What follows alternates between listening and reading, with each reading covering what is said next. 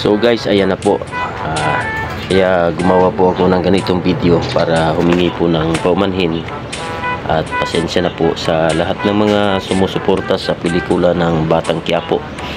Lalong lalo na kay Mr. Cuco Martin na ilang beses nang tumatawag sa atin. Ilang beses na tayong kinukumbinsi na sana ay maging isa tayo sa gumanap sa pelikula ng Batang Quiapo.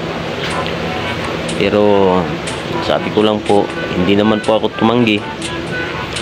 Ah, hanggang sa ngayon ay pinag-iisipan ko pa yung offer ng idol natin, Mr. Coco Martin.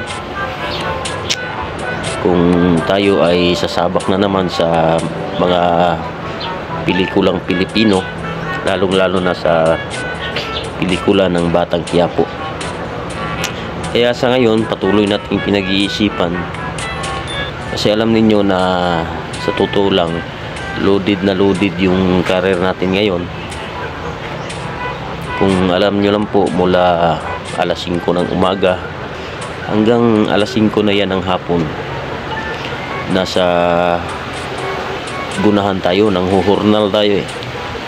Marami kasi akong kontrata dito na hinuhurnal. Ibig sabihin ay ginuguna mula alas 5 ng umaga hanggang hapon na yan.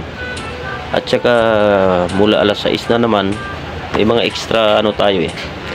Alas 6 hanggang mga alas 9 ng gabi ay spray na naman ang trabaho natin. May nag-spray na naman tayo.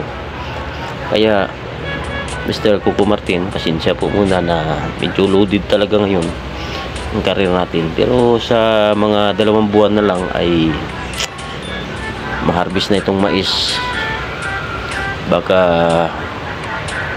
pwede na nating mapagbigyan yung inyong offer na maging kasama tayo sa pelikula ng Batang Quiapo. So guys ah, sa ngayon pasensya lang po muna. At talagang busy busy po ang idol niyo Paano mo, tambaloy, panana ni Noma, siyon sa mo yung di pang yaw-yaw. guys tama ano buwango eh